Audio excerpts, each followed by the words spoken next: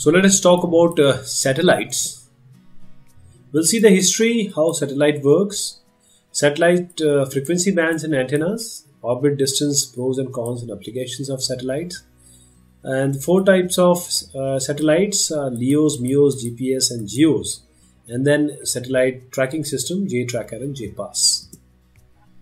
So let us start with history of satellites. The first satellites uh, the theory of satellite was uh, simple enough. Shooting something in, out into space at the right speed and on the correct trajectory and to stay up there will not come down. It will just rotate on uh, you know take revolutions. Now orbiting earth for years if not forever if the earth is in the right distance in space the satellite will keep pace with the rotation of the earth.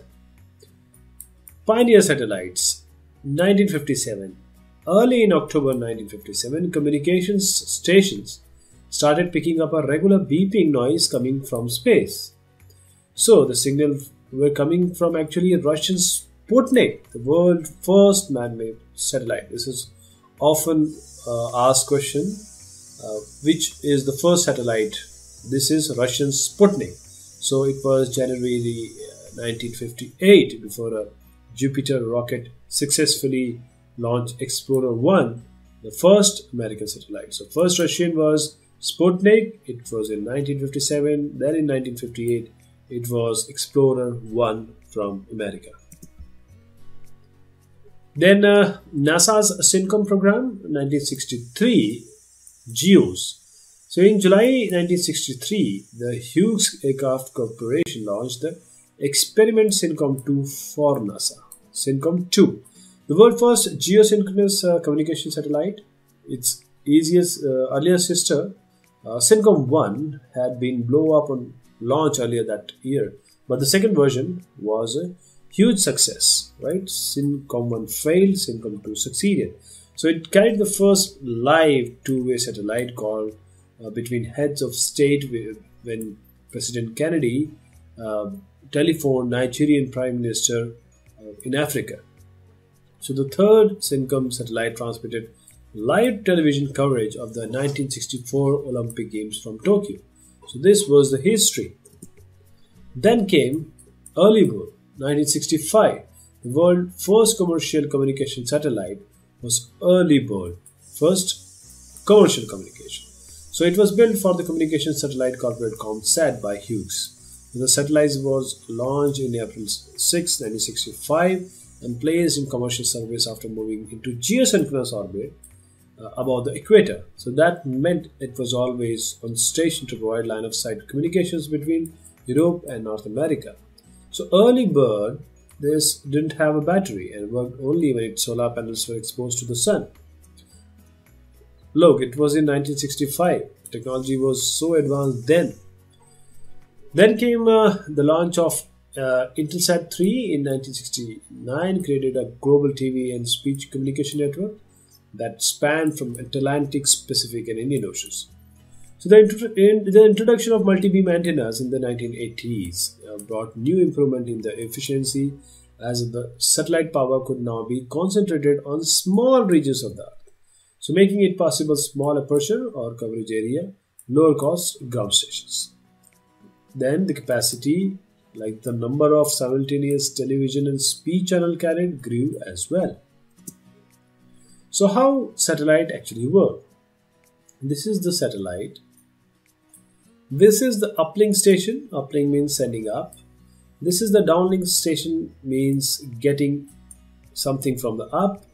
And this is the footprint of the satellite. Uplink is shown like this, downlink is shown like this. So this was the geostationary or geosynchronous.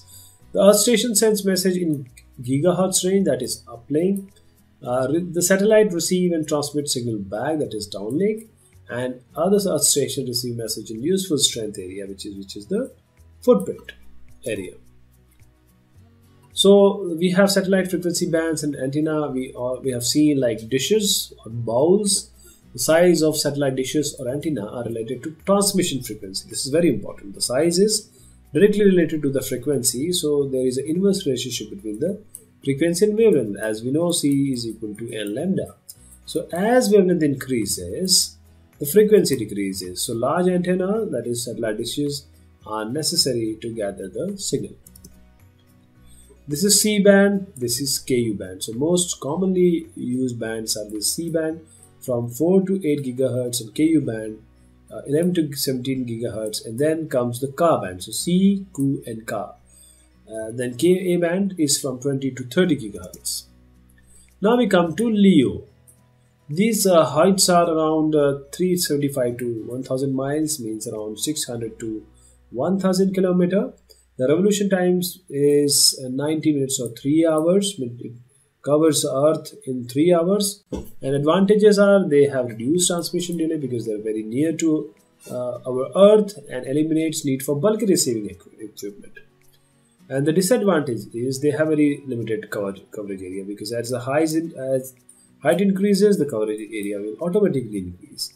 And they have shorter lifespan, say 5 to 8 years, uh, but geos may have up to 10 years.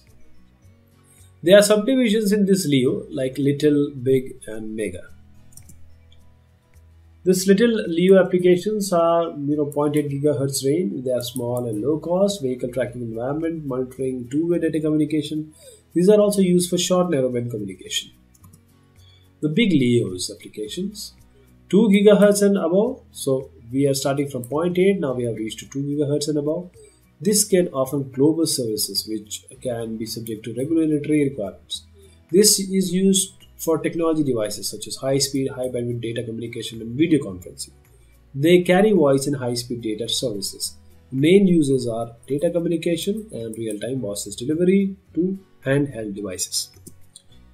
Then comes the mega or super uh, LEO applications around 20 to 30 gigahertz range. This mainly handles the broadband data. These uh, systems are optimized for packet switch data rather than the voice. And they share the same advantages and drawbacks of other LEOs and are intended to operate with the inter-satellite links to minimize transmission times and, they, and other uh, drop signals avoidance. Hubble telescope, you might have heard about it. This is classified under LEO. The orbit is around 600 kilometer. Revolution time is again 100 meter. The speed is around 17,000 miles per hour. The concern is orbit decay from gravity and solar output. So during solar maximum, the densities at all altitudes are enhanced, and the drag effects uh, on satellites are much larger than during the times of solar minimum. So they have a drag effect. Then uh, we have concern of space debris. The space debris, according to US Space Command, USSC, there are more than 8,000 objects larger than a soft ball now circling the globe.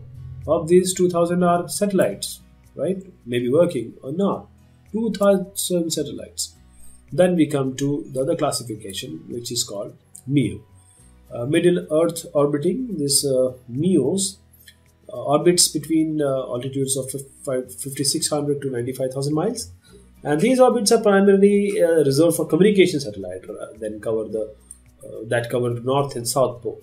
So unlike the circular orbit of the geostationary satellite, MEOs are placed in an elliptical orbit. See, this is an elliptical orbit, not a circular orbit, orbit oval-shaped orbit. So approximately a dozen Earth orbiting satellites are necessary to provide continuous global coverage for 24 hours a day. You can see the diagram also, right? Now coming to GPS, what is it? A constellation of 24 satellites. We have 24 satellites Actually, there are around uh, 54 satellites per se, but 30s are 30 are operational. This GPS is a worldwide radio navigation uh, system formed for a constellation of 24 satellites and their ground station. They're constantly moving, making to complete orbits in less than 24 hours, and these satellites are traveling at a speed of roughly around 7,000 miles an hour. The GPS satellite name is Navstar, manufacturer Rockwell, altitude around 10,900 uh, miles, and you know weight size orbital period this is 22 hours. Orbital plane is 50 degrees to the equatorial plane. The lifespan is around 7.5 years and uh, current constellation 24 Block II production satellites. The spacing of the satellites are in such that a minimum of five satellites are in view for every point on the globe. So we require three satellites to point the position how does it work? Satellites are actually reference points for location on Earth. The whole idea behind GS, GPS is to use satellites in space as reference point for location here on Earth. GPS satellites use a triangulation method uh, where the GPS receive, uh, receiver measures distance using the time uh, which uh, tra- time of travel of these radio signals. So by using triangulation, we can accurately measure our distance and find out the position of these satellites, position anywhere on the Earth. For example, if a particular satellite is around 11,000 miles above it, then we know that its radius is 11,000 miles. And basic calculation is only speed is equal to distance by time, or this velocity into time is equal to distance, right? We use speed of light as the velocity. So there are certain problems in the system also. Satellites are precise but are not perfect. Even though the satellite uh, positions are constantly monitored, they can't be watched every second. So the atomic clock they use very very precise but still they're not perfect. Minute discrepancies can occur and these translate into travel time measurement errors. And the signal may not actually get to the ground station first. It may bounce out various objects before it gets to the receiver. Who uses gps gps has a variety of applications. You know uh, today everybody is using gps even mobiles have gps facility Diverse uses like uh, surveying recreational sea air. We have in India, we have um, you know Gagan also, basically an ATS and ISRO project. Now coming to GEO, orbit in uh, synchronous uh, this uh, with the Earth's rotation. This is GEO. From the ground to the Earth appear fixed around 23,000 miles or 36,000 kilometer. Coverage is 40% of the planet per satellite.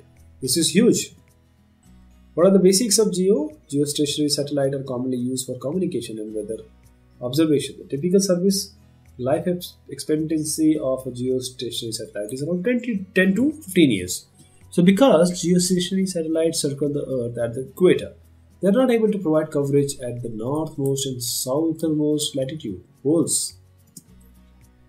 So, geos and weather, the altitude is chosen so that it takes the satellite 24 hours to orbit the Earth once, which is also the time of rotation of the Earth.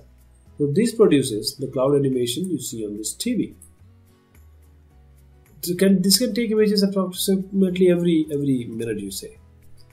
So there are certain facts about GEOs you must know. The instruments on GEO are designed to last for 3 to 9 years. Measurements that are taken in the form of electrical voltages that are digitized and then transmitted to receiving station on the ground. An instrument usually have a small telescope or antenna, a scanning mechanism, and one or more detector that detect either visible infrared or microwave radiation. This is GEOS. Uh, satellite are positioned every 4 to 8 degrees and approximately 300 geosatellites are in orbit. You see, you have ionosphere and these are the satellites and these are the receivers. There are certain pros and cons of GEOs. Advantages are weather images can be displayed, television broadcast, uninterrupted, use of track major developments such as hurricanes 24 hours a day. Disadvantage, it takes longer for the signal to get the earth and back to the satellite and it increases difficulty of telephone conversations. And GEOs are not positioned in the farthest north and south orbits. So GEOs they provide image of nearly one third of the Earth's surface every 23 minutes with 4 kilometer resolution. That is, you get 40% uh, of the coverage. So while the US maintains and operates its GEOs in uh, European uh, community served by the uh, European Space Agency ESA Meteosat satellite and Japan with GMS satellite.